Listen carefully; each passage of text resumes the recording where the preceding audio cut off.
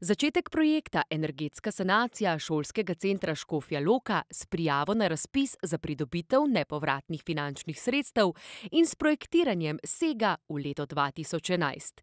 Pred energetsko sanacijo je bil v iskanju rešitev za povečanje energetske učinkovitosti opravljen tudi energetski pregled šolskih stavb.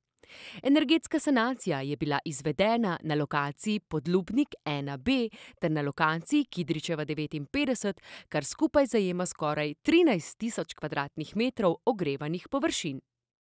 Poleg zamenjave energetsko neustreznih oken z novimi s troslojno zasteklitvijo ter poleg izvedbe ustrezno toplotne izolacije na zunanjem ovoju in stropih proti neogrevanemu podstrešju je posebnost te energetske sanacije v tem, da ima osrednji objekt tudi sodobno prezračevanje s preko osemdesetodstotnim vračanjem toplote iz odpadnega zraka oziroma s tako imenovano rekuperacijo. Na lokaciji Podlubnik je sedaj osnovni energent zemeljski plin v kombinaciji s toplotno črpalko za pripravo tople sanitarne vode izven kurilne sezone. Kotel na kurilno olje je bil na lokaciji Kidričeva devetinpetdeset zamenjan s sodobnim kotlom na lesno biomaso, kar je pomemben korak k energetski samopreskrbi. Nova kurilnica bo namreč omogočila uporabo lesnih ostankov, ki nastanejo v okviru izobraževalnega procesa za lastno oskrbo s toplotno energijo.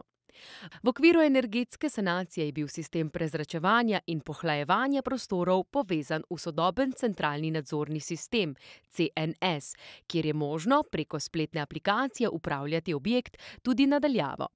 CNS omogoča nastavitve dnevnika obratovanja objekta in sinhronizacijo delovanja posameznih elementov sistema, ugotavlja anomalije in odstopanja ter omogoča takojšnje ukrepanje. Centralno nadzorni sistem nam omogoča, da daljinsko upravljamo vse, naprave na šolskem centru Škofja Loka.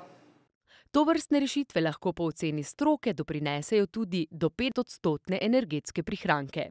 Prav tako je v šoli vgrajena sodobna razsvetljava z napredno digitalno dalj regulacijo, ki osvetljenost uravnava glede na zunanjo svetlobo in prisotnost v prostorih. Energijska sanacija pomeni investicijo v prihodnost. Z njo bomo zmanjšali izpuste toplogrednih plinov. Zmanjšali bomo porabo električne energije za približno petnajst odstotkov in porabo toplotne energije za petinšestdeset odstotkov. Na saniranih šolskih objektih je bil vzpostavljen tudi sistem digitalnega obratovalnega monitornega energetskega upravljanja Dom EU, s pomočjo katerega je možno v vsakem trenutku na daljavo preko spletnih aplikacij in mobilnih naprav spremljati porabo toplotne in električne energije, vode in stanje klimatskih pogojev objekta.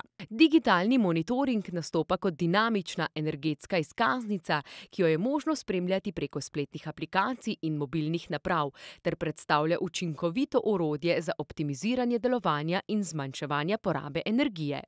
Z realizacijo projekta energetske sanacije v šolskem centru Škofja Loka smo povečali energetsko učinkovitost, izboljšali varčnost vgrajenih naprav in v splošnem prispevali k ohranjanju našega okolja.